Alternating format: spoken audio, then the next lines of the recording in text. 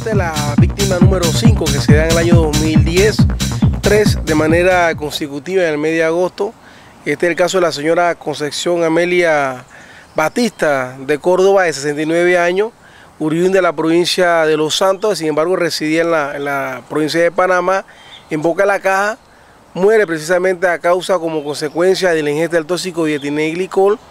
eh, producto precisamente de la forma en cómo fue tratada, cómo fue llevada, y esto para nosotros pues es lamentable, toda vez pues que estando hospitalizada todavía pues vemos un gobierno indolente, una población que poco se solidariza con nuestra causa, una población pues sumida realmente a otro tipo de, actividades. Y lo que buscamos más que todo es que el gobierno central,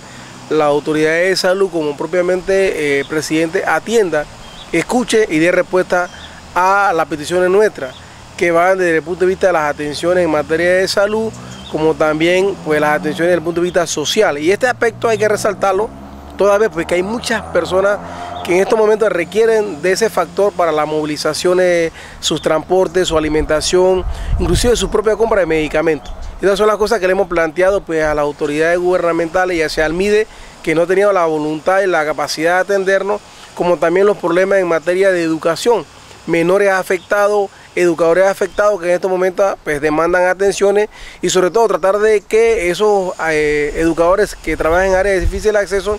vengan al área de la central o a la capital de cada provincia a tratar de dar un seguimiento más continuo y más riguroso en cuanto a, productos como consecuencia de la secuela del tóxico dietinil